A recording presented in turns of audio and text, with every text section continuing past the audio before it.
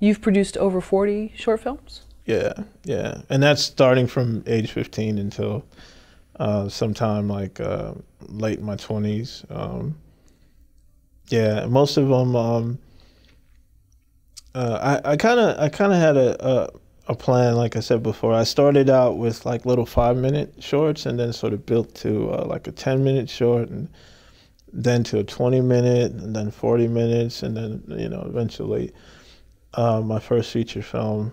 Um, and um, yeah, a lot of those were mostly um, for myself. Like uh, some I'd released, but most of them, um, I just wanted to focus on particular aspects of filmmaking. So, for instance, um, um, with one, might just focus on composition. You know, like um, another might be just lighting.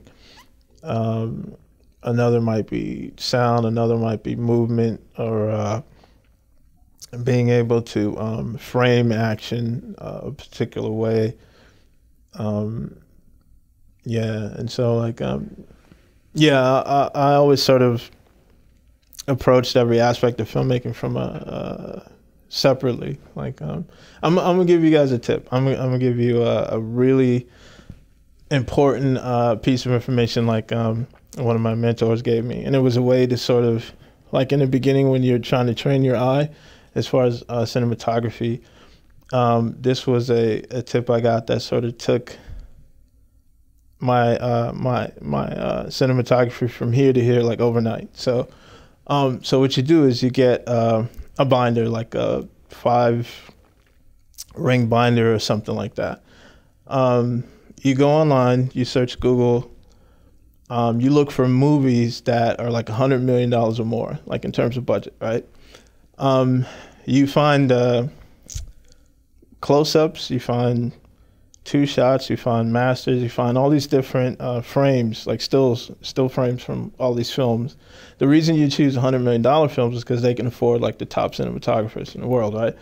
So you, you section off your uh, binder, let's say you want close-ups. So in this section, you put maybe five examples of close-ups. Uh, another section, you put uh, another five examples of uh, two shot or whatever over the shoulder, whatever, and you uh, you fill it up with those different frames and different sections. And so um, from there, let's say um, you're a cinematographer, you're kind of new at it, you're just starting out, um, and you may not really know how to frame subjects that great just yet. So what you do is every time you shoot, um, you set up your tripod, you set up your camera. Um, you adjust your frame the way you think it should be, the way you think uh, it should look. Let's say you have two people having a conversation, whatever the case is, um, and you want to do uh, an over the shoulder shot. You adjust that frame to where you think it should look, right? Then you take out your binder and you go to over the shoulder shots, and then you hold that binder up you next to your your frame, and then you begin to adjust your frame based on the composition you see in those frames. And so as you do that, it's going to slowly begin to train your eye to have a more cinematic composition. You know what I mean? Um, so yeah, that's just a little tip right there. You know what I'm saying?